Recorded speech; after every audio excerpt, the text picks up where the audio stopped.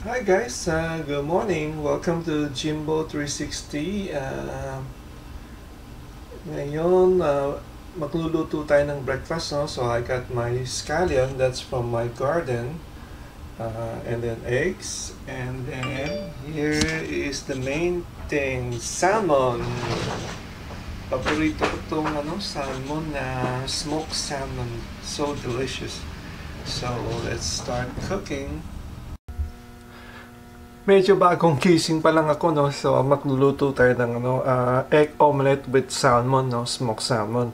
Uh, ang ginamit ko dito, ano, uh, apat na iklog, pero dalawang yolk lang kasi medyo takot kami sa cholesterol. Pa-add ko siya ng konting milk. Ayan, para dumami. And then, itong gagamitin ko, uh, smoked salmon from Harry and David at saka maraming scallion. Yun, paborito namin scallion eh. Sige, makluto na tayo.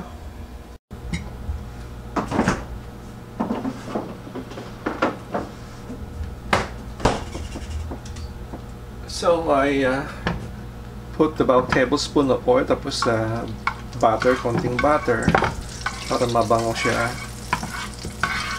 Ano ko lang yung pan, no? There. Ayos na.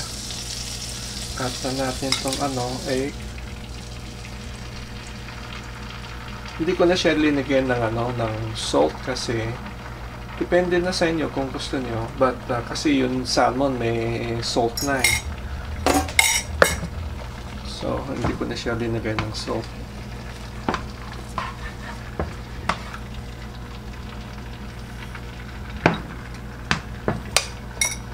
Ayan, hulok na natin to.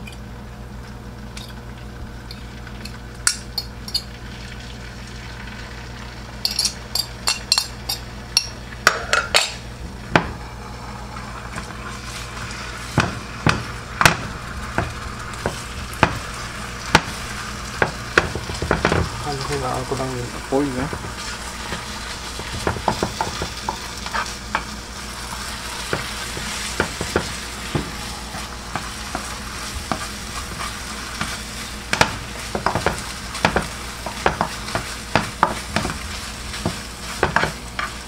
Itong stand, no, hindi natin siya, ano, hindi siya, hindi natin masyado lulutuin yung egg. Ito natuto ko sa isang boss ko. Nagluto siya ng breakfast.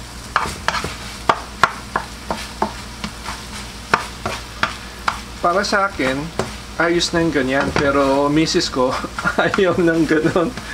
Medyo basa yung egg. Ako gusto ko ng basang egg pero misis ko ayaw niya ng basang egg eh. So, i-continuation natin ng konti. But, dapat sana ganun lang yung medyo basa ang egg. Ayos, ayos na to. Now, that's ready. So, here, here you go folks. Uh, ito po ang ano na ginawa ko. Um, egg omelette with uh, smoked salmon. Gaya ng sinabi ko, normally yun, pag gumawa ko ng itong kind of dish, no, yung egg, basa, bas, medyo basa pa siya, you know.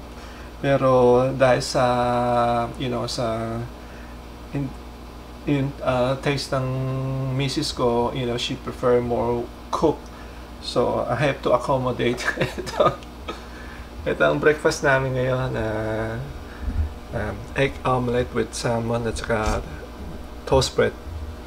I hope you like the video. Please hit the like, share, and subscribe. Salamat po.